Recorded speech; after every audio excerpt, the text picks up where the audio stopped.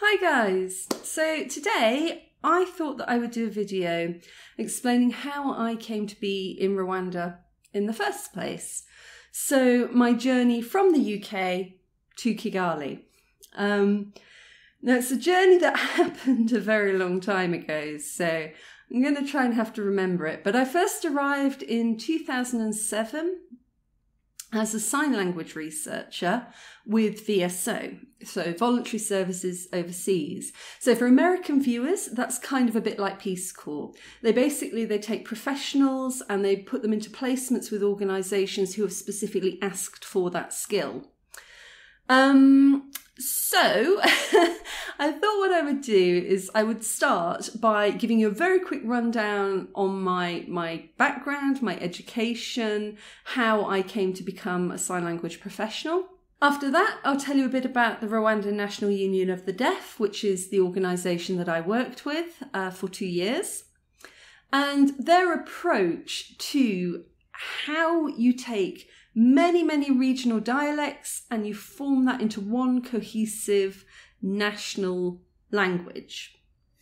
Um, uh, why you'd want to do that, and a few of the quirks along the way. So, my dad kind of reckons I was around about 12 when I first became absolutely fascinated with sign language. Uh, my uncle Brian, who lives in Dumfries, was a sign language interpreter.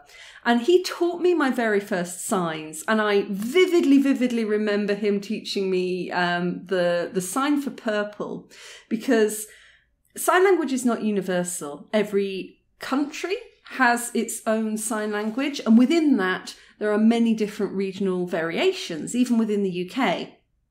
So, for example, in England, uh, at that time, purple was this. So it's a rotating P. And in Scotland, they were very more direct. It was purple, as though you're strangling somebody. Very, um, what we call an iconic sign. So the sign matches either an action or something about the object that you're talking about, like a glass, um, or I guess a rabbit. Um, you know, so purple, very iconic there. Uh, and uh, I was just, I, I loved it. I was absolutely fascinated. And crazy enough, but at that time, the British Deaf Association was based in Carlisle, which is a town between um, England and Scotland. It's right on the border. And my dad is from Carlisle. So we were there for Christmas, I think it probably was, uh, seeing my nana and granddad, seeing the family. So my dad put me in the car, took me to the British Deaf Association, and bought me a load of books. So basically, I would sit there going through these books, trying to learn the signs for no other reason than I was absolutely fascinated. Um, and then I wanted to do my level one, my stage one sign language certificate. But in order to start a night class at college, you had to be, I think it was about 14 or 15. So I had to wait to do that for at least a year. Um, and around about that time, the Michael Crichton film Congo came out. Now, it hasn't exactly aged well, but it kind of really hit my imagination because in it there's a gorilla a mountain gorilla in Congo who learns to sign, and a little electronic box can translate between sign language and spoken English, and they can communicate with the gorilla.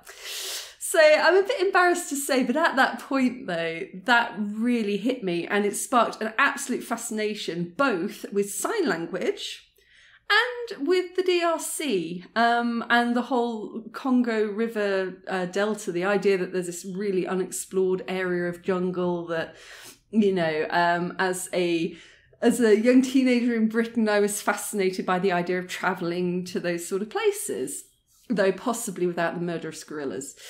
But anyway, um, so essentially I, I spent years just sitting in the bath signing to myself and then going and doing my level one whilst i was at school still. So after my um, GCSEs, so when I turned about 16, I actually I kind of dropped sign language for a couple of years because I went off to drama school. And I spent 2 years at the British Record Industry Trust uh, School of Performing Arts, which is better known for musicians than it is for actors, I think. Uh, but I studied drama. Um, so I don't really do much more to do with sign language during that period, I don't think. But I eventually finished there and it came time to do a degree. Uh, so I was looking around for universities, and at that time, I don't think it exists anymore, but at that time, the University of Reading had a course called Theatre Arts, Education, and Deaf Studies. So it combined my two biggest loves, which were theatre and sign language. And it was literally a three year course for deaf theatre, where the entire course was pretty much taught in sign language. It was mixed hearing deaf uh, students, you know, and over those three years, my sign language just went poof, uh, because every day I was using it. Every day I was communicating with my lecturers, my fellow students.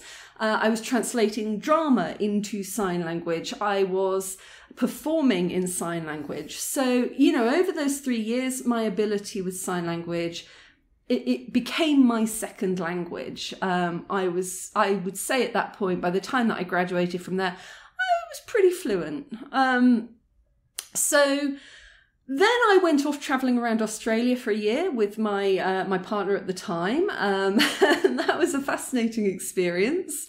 Um, we we literally went all over the place.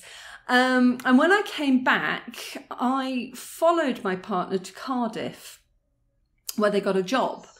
Uh, and so I moved there because of that. And one day I was walking down the street in Cardiff and I bumped into a friend from my university days. He was on the same course and he was now working for the British Deaf Association. He sort of said, You know, how are you? I'm like, oh, I'm okay, you know, but I need a job. Um, and he looked at me and said, Well, you know, we need some admin support. Do you want to come and work for the British Deaf Association? I was like, yeah, sure, okay. So I stayed with the British Deaf Association for a couple of years. And then there was a fast track programme in Wales, funded by the Welsh Government, to train sign language interpreters because there weren't enough of them. And at the time, I thought maybe I wanted to be a sign language interpreter. Um, so I applied and I got onto that. Um, I didn't stick with the interpreting course. I decided it wasn't quite really for me. And I went off and I did a master's degree instead. Um, and I went to Cardiff University and I signed up for language and communication research, although I wasn't entirely sure what I wanted to research when I signed up. But the wonderful thing at Cardiff was that they had a forensic linguistics uh, department as well. And I didn't know much about this, but through my master's program, it was a one year master's program in language and communication research, but I also got lectures and experience in sociolinguistics and in forensic linguistics, and I was fascinated by that aspect. So, in my own paper, I decided to combine my interest in sign language with my newfound fascination with forensic linguistics, and I wrote my thesis on deaf people as victims of crime in the British legal system. So, how deaf people are treated by the police, by the judicial system, if they report a crime, and especially if they're vulnerable witnesses. Now, um, I think I made the mistake that everybody makes when they do a master's or a degree. They have so many interests that you try to cram it all into a paper, whereas what you need to do is to pick one very specific topic and just stick with that you know prove it or disprove it but ju- just stick with that one very specific thing. Um, so i did i kind of like i tried to cram everything in there from jury service through to uh, how the language is perceived by the police. It was a lot but i had a fabulous time doing it. Um, it was just very creative for me. I got to meet a lot of people i got to ask a lot of questions um, and sort of feed my own curiosity and answer a lot of questions that I had at the time. Um, anyway, gosh, I'm going off topic. So I got to the end of my master's degree and I was sitting there thinking, what do I do next? You know, um, I had a relationship that ended, so there was no real reason to remain in Cardiff. I had a lot of friends there, but you know, I didn't really have a job uh, to go to once I finished my studies. I didn't really have any plans of what to do next. So I decided to apply to VSO, Voluntary Services Overseas. Now, I'd heard of VSO and I'd always been really, really interested in it. Uh, the idea that you can travel the world doing something that you love, doing something that I felt mattered, um, and not getting paid for it, but getting your accommodation and getting a monthly stipend for food. So not kind of um, struggling to do it, but well, kind of struggling a little bit because the amount of money didn't really match the cost of living entirely. But it wasn't bad, you know, it was a better option than um, than paying to go and volunteer somewhere myself. Uh, so I put in my application, but even at this point, even with a degree in sign language, even with a master's in sign language, I still wasn't entirely certain that I was qualified enough. um, so the VSO recruitment team actually got back to me really quickly. Um, and they were like, yeah, please, we, we are desperate for people who, who know sign language, who have these skills. And they offered me uh, two positions. One was in Kenya and one was in Rwanda. I can't entirely remember what the job was in Kenya. Um, but immediately, immediately I was drawn to Rwanda. There wasn't a question in my mind that that's where I wanted to go.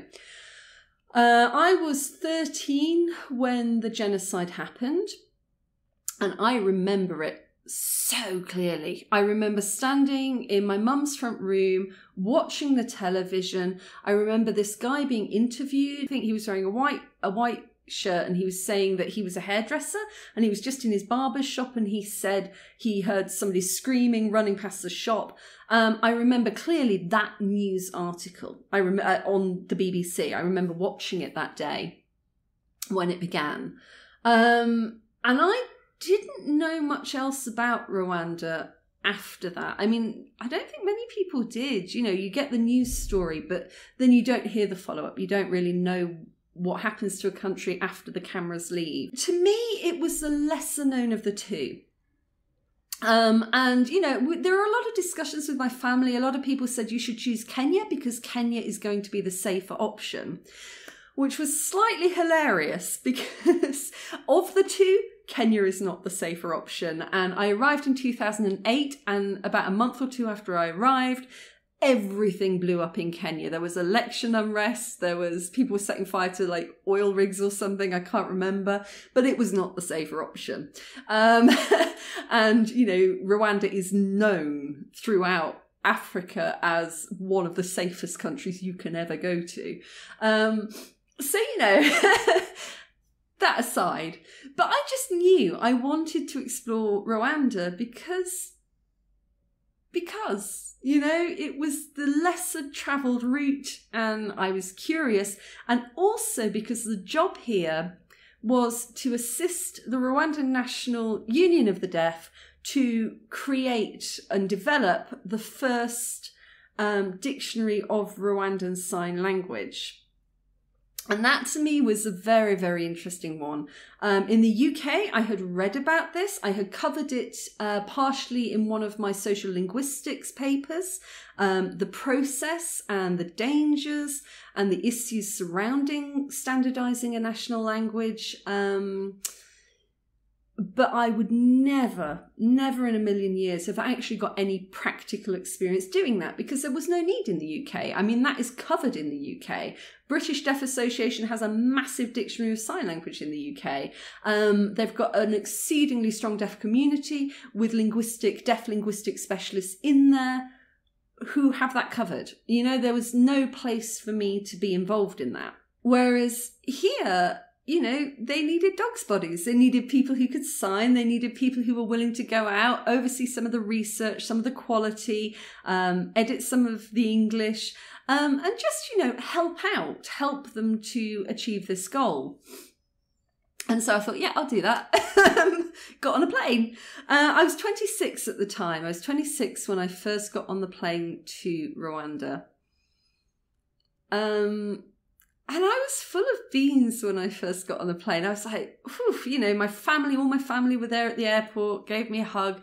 I I'd been to other countries before. Um, I worked one summer. I worked for the British Army in Germany on a youth program, uh, which it was the first time I ever got on a plane on my own. I must have been about, I guess, how old was I? Maybe twenty maybe? I don't know but i got on a plane from the uk to germany um, and i went to work with the children of british uh, soldiers doing a youth camp. Uh, so you know i had traveled before. I, i've been to many countries with my dad when i was a kid greece and france and just traveling around. Um, but africa was different. I mean it was a really long way, a really long way. And, you know, I've been to Australia before, but I went with somebody. I hadn't gone on my own. And because of um, completing my master's, I was going out of sync with everybody else. So before I left for Africa, every VSO at that time, I don't know if they still do it, but you had to go to a place called Harborne Hall. Um, I think it was in Birmingham. Um, and everybody went to Harborne Hall, and you had to go two or three times for, you know, about a week's worth of training. So it was very intense. So signing up for VSO, the interview process is very rigorous. Uh, you have a psych assessment, you have a health assessment, uh, you have group assessments where they see how you work in collaboration with others. So, yeah, even though I've been through this uh, pre-departure training, very rigorous training, uh, cultural training, health and safety training, a little bit linguistic training, all of these things thrown in. Uh, VSO really did prepare you before you left as much as they possibly could. Um, I still came out of sync with everybody else because I've been graduating from my, um, I've been finishing my MA. So when I arrived, I'd already missed a bit of the in-country training. So I had to kind of uh, find my footing really. Um, and it was great. It was brilliant because I arrived and I was surrounded by people. Uh, VSO had been in the country for many years, so there was a huge group of people who had been here for a few years. They shared their experience. There were a load of people who just arrived like me, and we all had the same questions. Uh, we got more linguistic, more language training. Um, we got shown around the city, you know, mm, you know the historical parts, but also just the social parts. We went out to a few clubs. It was just brilliant. It was a fantastic. Um, um, that was a great experience. I, I love VSO. I've always got a huge fondness in my heart just because of the opportunity it gave and the work that they do, you know, which is just it's important. So I arrived in Rwanda and I started working with the Rwandan National Union of the Deaf in I guess around about November 2007 based in Kigali. And it, it, was just a brilliant experience. Seriously, they made me so welcome, so welcome. Um, and there's kind of an interesting thing with um, especially with the deaf community all over the world it was as true in the uk as it was in rwanda that often uh, deaf people who consider themselves culturally deaf they have their culture they have their folklore they have their stories they have their language that unites them um, and they have to fight so hard to get basic information from the rest of the world that when somebody has got information, they usually share it really freely. So, you know, you can go straight in with conversations in a deaf community um, that you couldn't just walk down the street and ask other people. Um, you know, if anybody's got any information, if it's gossip or truth, you're never sure, but if anybody's got any information, they share it, you know? So I could walk in there and I could ask any question I liked and nobody would think it was strange because, you know, it's so hard to get information. So if you got it, you share it, which is kind of a slight juxtaposition to the general Rwandan culture, which is often that information is sort of power, and if you have information, you don't share it very easily. It's kind of something that you keep to yourself. Um, so I was in a very nice environment in that respect. Is that I felt very comfortable. I could ask questions. I could uh, pick up information and find my feet. I guess pretty quickly. Um, and they spent the first few months just teaching me Rwandan Sign Language. Um, and it's definitely true that it is easier to pick up. Well, for me, it's easier to pick up sign languages. I'm useless at spoken languages, terrible, because I find it hard to retain vocabulary. I, like you can tell me something five times and I will repeat it over and over and over and over again. And an hour later, I've forgotten it. You know, it's gone. But with sign languages, they just make sense to me. Um, there's a lot of similarities um, with visual languages. So, for example, um, in the UK, you might have a drink. With a cup, you're having a drink. In a village in Rwanda, you might have a drink. But you know, you get the concept. I mean, that's not always right. Uh, there are a lot of faux amis in there, like in French, there are words or signs that look similar, but they are not related. But as well as iconic signs, which are kind of like clearly directly related to what you're talking about, like a drink or food or book, you also have a lot of abstract signs that bear no relation or are not that obvious unless you know what they mean, like uh, duplicitous or two faced, um, dream, think. Um, I mean, what's probably the most abstract sign I can think of? Poo. So in the UK, poo means I don't have any. So if you say dog poo, you don't have a dog. Uh, so you know that unless you know know, you don't know. Um, so you can't just automatically assume that you will be able to pick up all of the details of another language. But I kind of look at it a bit like Latin languages or Romance languages. They have similar base to them a lot of the time. Um, so you know, it's for me, it's a lot quicker to pick up sign languages than it is to pick up a spoken language. Um, and I think I just retain muscle memory and shapes and a movement faster than I remember spoken spoken words. Anyway, so I got fairly fluent in Rwandan Sign Language. I got fluent enough that I would interpret at certain situations when I was asked to do so. And we just spent an incredible two years. We travelled all around the country and it was an amazing chance for me. I was when I first arrived in Rwanda, I thought, I was a bit disappointed because I thought that I wanted to be based out in the village, out in the sticks, living the real rural Rwandan experience. Mm. Having had a lot of friends who actually did do that, it was tough. It was it was tough. Um, Kigali has changed so much over the past 15 years. I mean, it, it's incredible. But even then, Kigali was where it was happening. You know, it was easier to get food, to get water, to get medical care. You know, it was easier than the villages and probably still is. But at the same point, even though my life was easier, I was sort of like, oh, you know, I wanted to be out there in the thick of it. Um, but because of the work that we were doing, I got to go everywhere. I got to see the thick of it. I got into amazing situations and crazy places. It was the first time I ever went to Gisenyi in the north. It was the first time I got on an eight hour bus trip, was it? I think it was longer than that to get to Cyangugu in the south. Um, I ended up in villages in the middle of nowhere. Um, and so I got to see it all. Um, and it was amazing. And so, why why were we creating a dictionary of sign language? Why does anybody do it? Um, there is an argument, and it's a very well founded argument, that if you standardize a national language, then in effect you're killing off regional languages and dialects.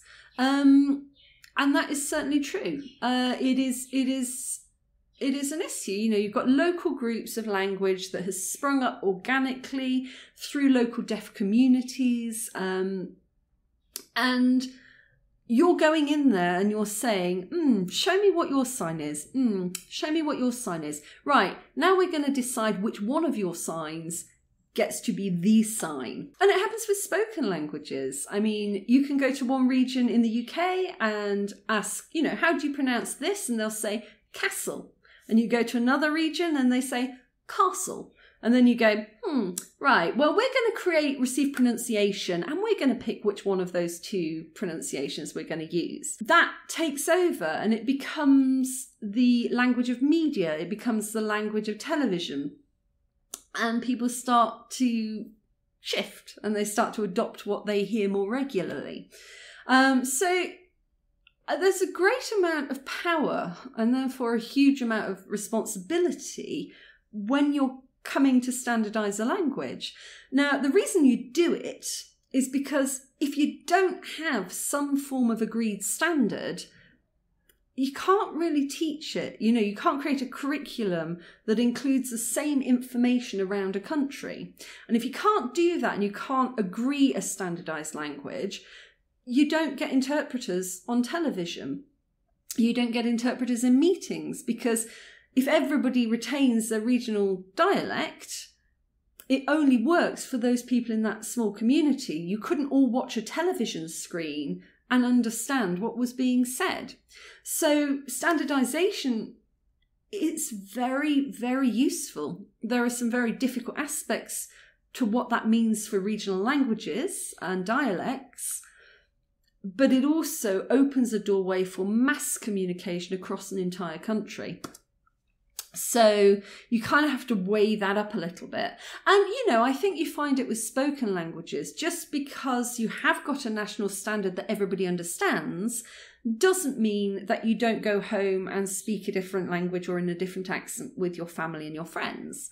Um, so I think the benefits generally outweigh the um, the pitfalls, and there are ways to be sensitive about how you do things.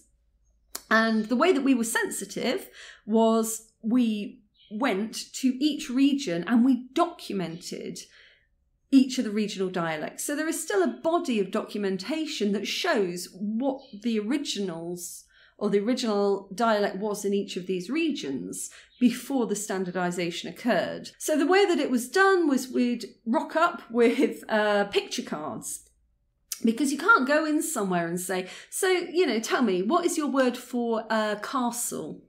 Because somebody will look at you and go, well, castle? yeah. What do you call a book? A book? you know, it's you're you're giving somebody the word then and they repeat it back to you because that you want to find a commonality of communication.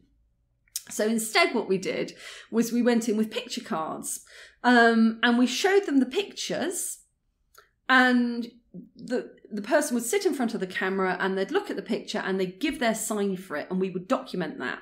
And then we'd go back and um, the the deaf members of the board would sit down um, and look for commonality between regional signs.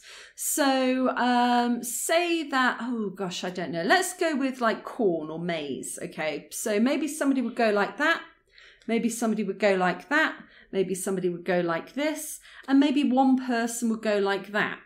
So you'd be looking through these different uh, signs for the same same picture, the same word, and trying to standardize to the commonest denominator. So that one, unfortunately, is probably going to go out the window because everybody else has got something going on around their mouth. Um, that one, that one's near the mouth. It's, slightly different. It's slightly more similar to this or that. So maybe we're going to just go with this. And that then becomes corn because it's one that everybody can pretty much recognize. Um, and it's, it's a common enough denominator between enough people that even if you didn't recognize it, you'd be in the minority and you could easily probably adapt, if that makes sense. Um, yeah, it's a tricky one. It's tricky.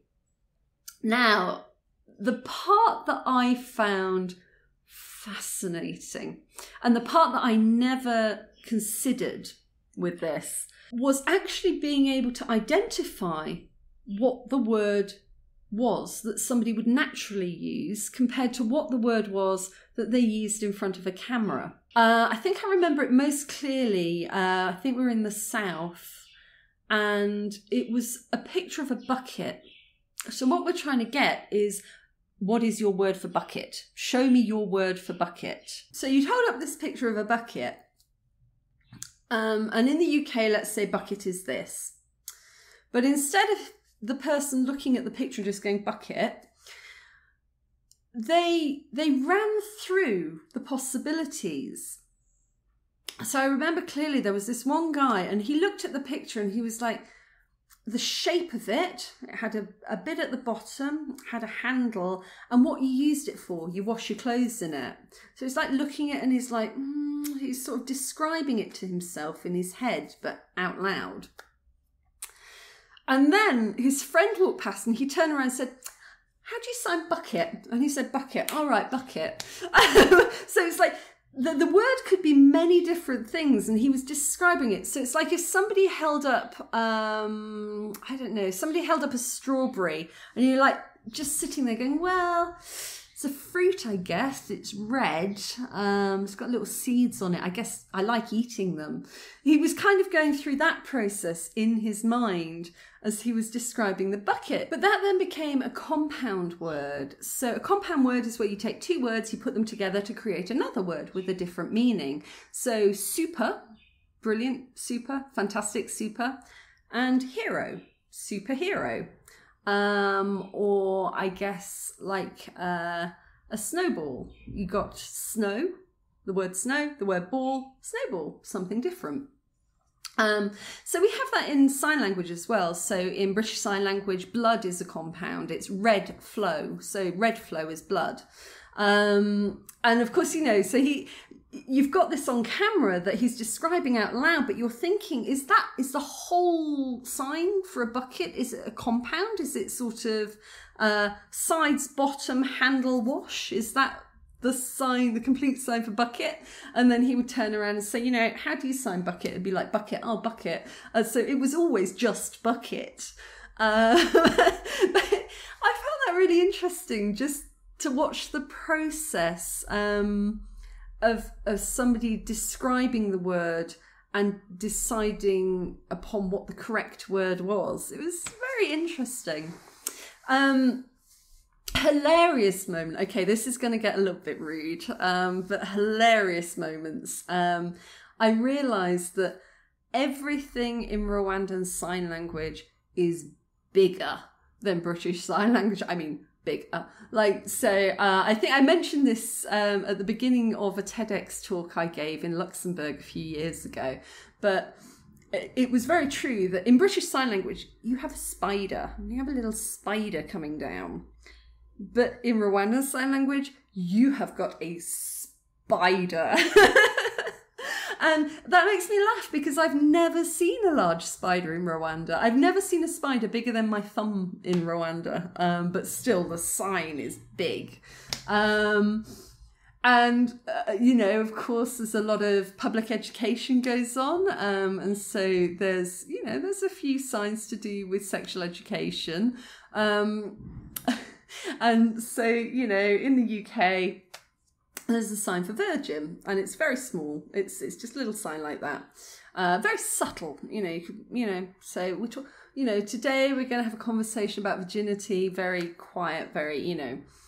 Uh, and I saw this one sign for virginity was this. I just thought there was no subtlety to it. I thought, my goodness me. Um, you know, I, I, guess it's so that, you know, people at the back of the room can join the conversation because often education is done in very large groups. So, you know, rather than one on one. Um, and then there was the other one was for um, for protection. So in the UK, you're putting it on like this, and here the one of the signs was that. so, I mean, I just love language. I love the different ways that we interpret things because absolutely it's exactly the same concept and it's a very iconic concept, but the, the different kind of ways that we can come up for saying the same thing, um, both in spoken languages, um, and in sign language is just wonderful the diversity of it.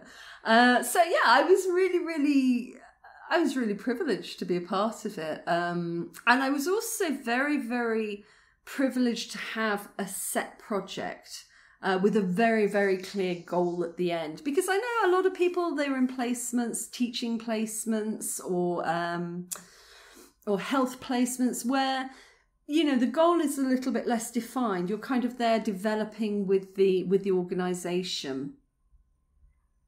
Um and you know sort of what you're doing on a daily basis can change and you're never always that sure if you've achieved what you set out to achieve.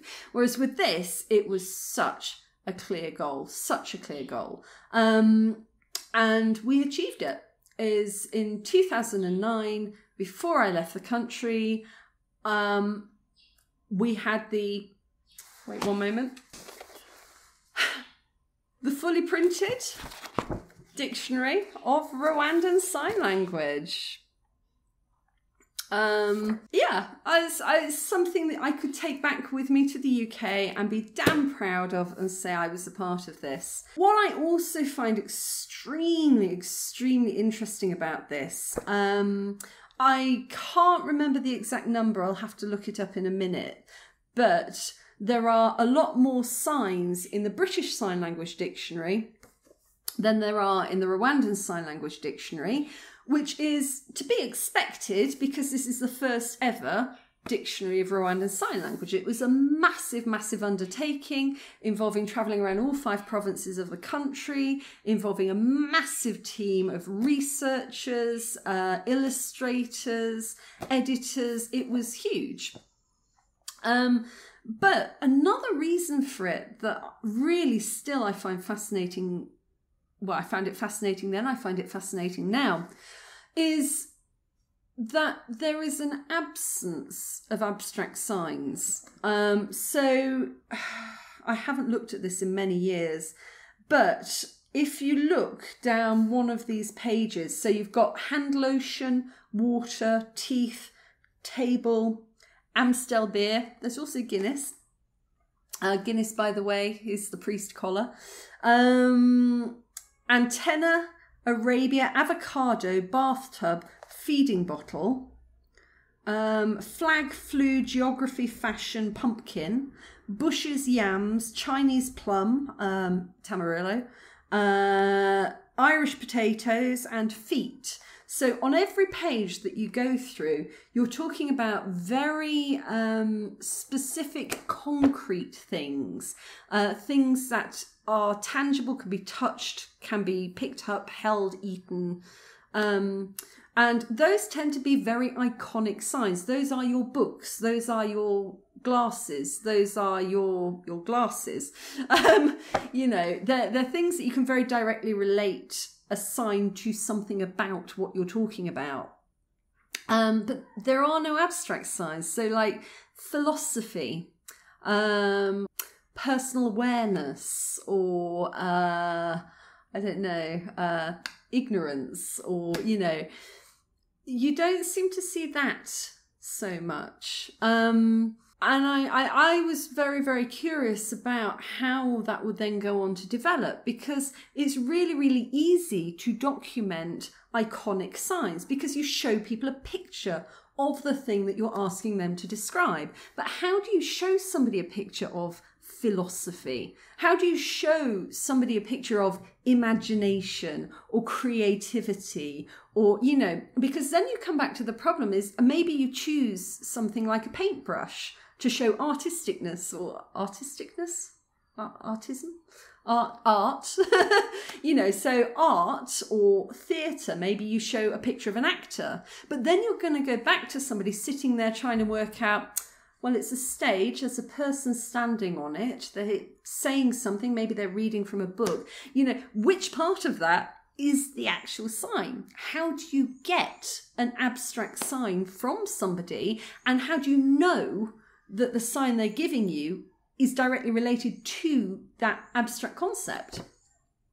So I don't know, but I feel I, I haven't actually ever asked this and I should have done, but I wonder if that's the reason that there isn't um, aren't so many abstract signs in here. And also just because, you know, people want a practical book that relates to their daily lives. And many, many people, especially deaf people in villages, they haven't had access to higher education or to, you know, maybe even movies and films and other things to discuss. So food, um, geography, uh, you know, the very, very practical, practical parts of life are the important things, and that's why they went into the dictionary or the first dictionary to be created.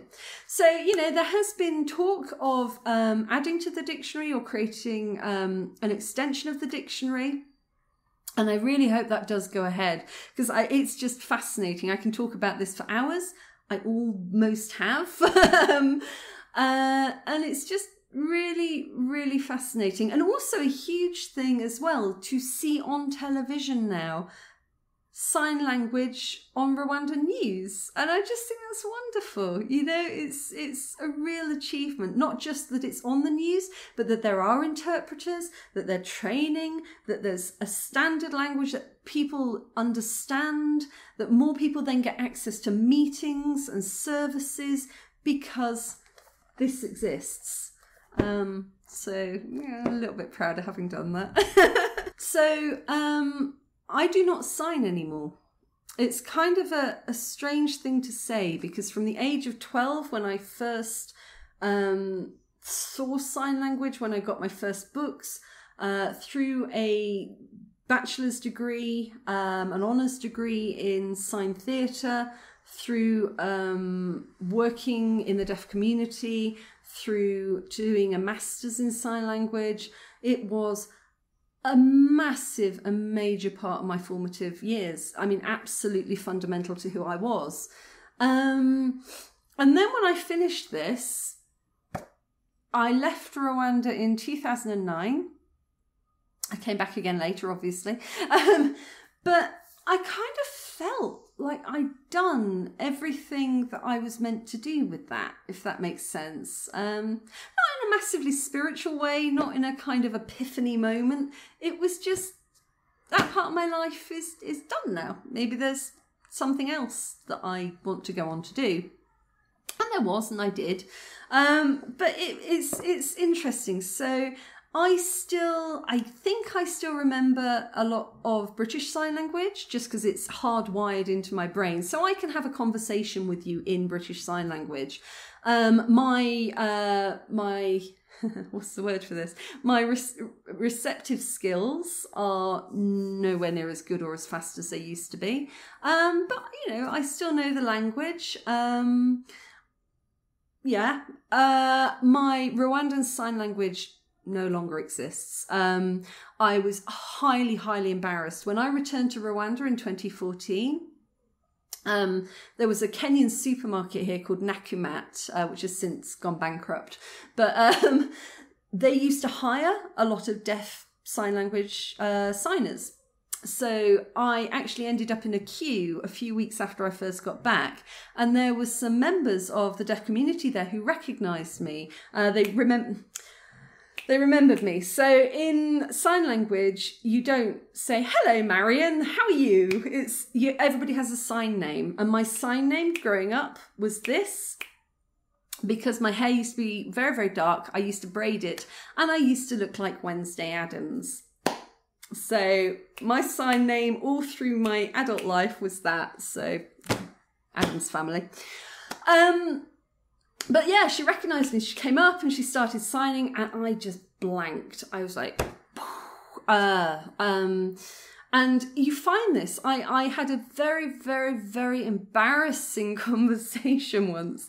I was in a coffee shop and there were a group of British deaf people who had come over um, on some missionary work. And I saw them and they were signing, and I thought, oh, I can sign. And I went over and we started a conversation. Like, wow, what are you doing here? What's, you know,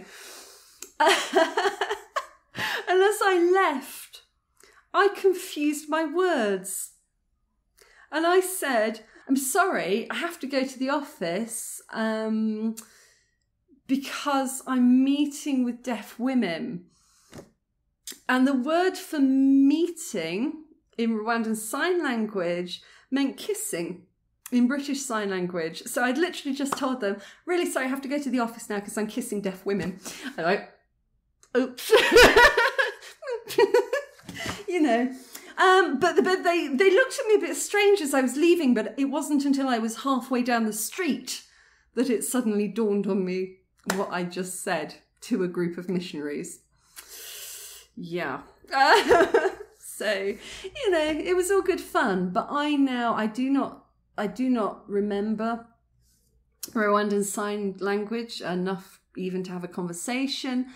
Um, I don't know about British Sign Language. I don't know if I still can or not because I haven't signed in years.